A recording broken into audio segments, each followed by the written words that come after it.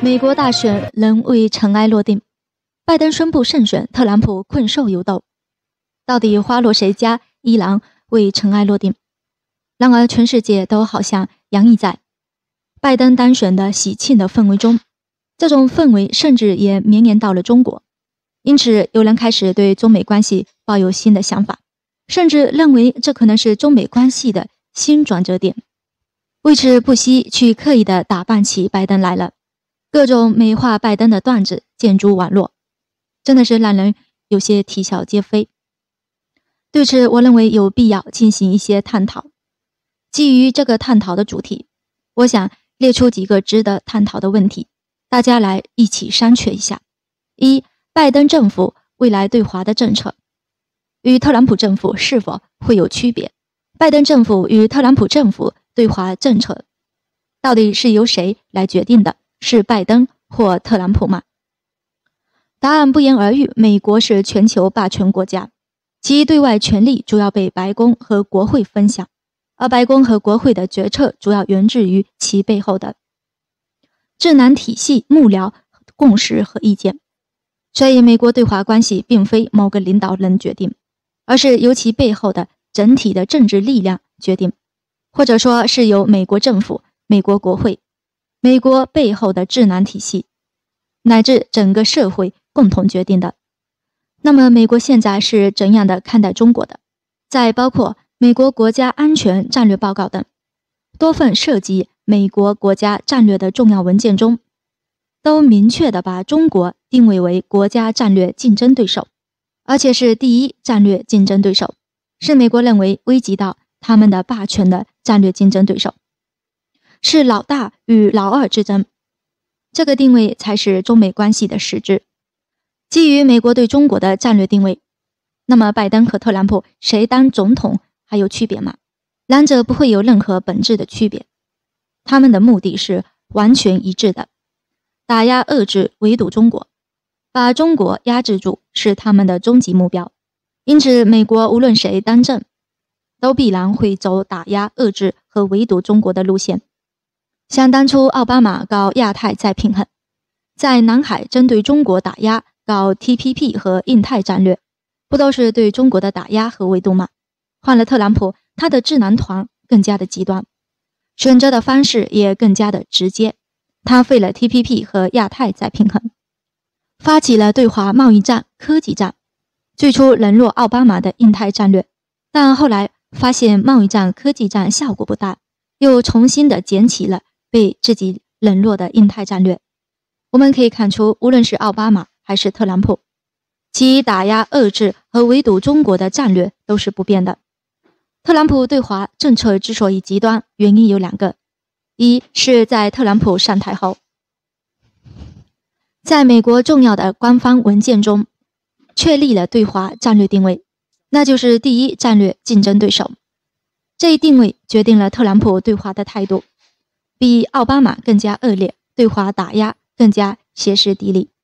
二是特朗普及其智囊团的意识形态及行为方式更加极端，蓬佩奥等人都是思想行为非常极端的，而且都是从意识形态上反华仇华，他们所采取的政策当然也都更加的极端。综上，我们应该明白，特朗普对华政策不是战略问题，而是战术问题。无论谁当美国的总统，对华战略都是不会改变的。特朗普对华政策不是方向问题，而是手段选择问题。由此，我们可以认为，拜登和特朗普的对华战略本质上是一样的。美国总统不会因为换了拜登就对华更加友好，中美关系也不会因为拜登上台就发生质变。他们只是政策手段选择不同而已。二，拜登政府与特朗普政府的区别在哪里？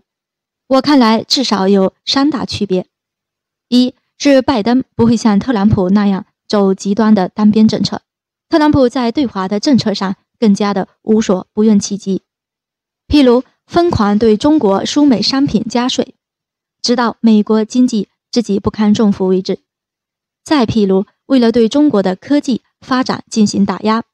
正常情况下，拜登应该不会像特朗普那样走如此极端的政策路线。因此在与拜登沟通时，应该有更多的探讨空间。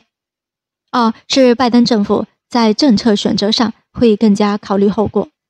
特朗普在政策选择时经常是不顾及后果的，他所在意的就是眼前的利益，对于将来长远利益完全不考虑。在这方面，拜登政府会更加的成熟。譬如，特朗普政府为了达到目的，对盟友都是无所不用其极，但拜登政府会更加在意盟友的感觉，所以可以预见，拜登政府将会采取更多的手段。联合盟友对付中国，而非单打独斗。三是拜登政府更倾向于渔翁得利，而非亲力亲为。特朗普政府有一个很大的特点，更加愿意采取亲自上阵的直接对抗。譬如，美国对华政策非常的赤裸裸，拜登政府在这方面应该会继承奥巴马的风格，倾向于利用其他国家的资源，实现渔翁得利。针对这一点，中国应该做好对冲的准备。基于拜登政府这样的特点，接下来可能会有一些国家为了讨好拜登政府而挑衅中国。三，中国又该如何的应对？拜登政府和特朗普政府谁更难对付？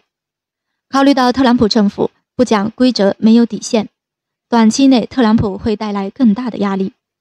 短期看，特朗普政府更难对付，但。一旦中国挺过去，特朗普政府的政策有助于中国国家影响力的彰显，对于中国中长期是非常有利的。特朗普四年的任期对美国衰落的加速作用，要远超奥巴马执政的八年时间。拜登如果上台，必有一系列烂尾事要收拾，而且以民主党政府的一贯风格而言，拜登会花大力气修复与盟友的关系。而后再去采取系列的行动，我们务必要明白，一旦拜登稳住后，中国就是其最大的目标，他必然会发起对华的持续的攻击。尤其需要指出的是，相比特朗普政府，拜登是一个弱政府，国会将会掌握更多的权力。在这种情况下，中国可能将不得不面对更多佩洛西、卢比奥这样的反华议员。他们将会对拜登有更大的影响力，从而影响美国对华的政策。那么，中国又该如何的对付拜登政府呢？我认为应该遵循三个原则：一是做好自己的事情，做好最坏的打算。自美国2010年重返亚太，针对中国之后，中美博弈已有十年，中美的力量对比如何了？此消彼长，中国与美国的实力差距更近了。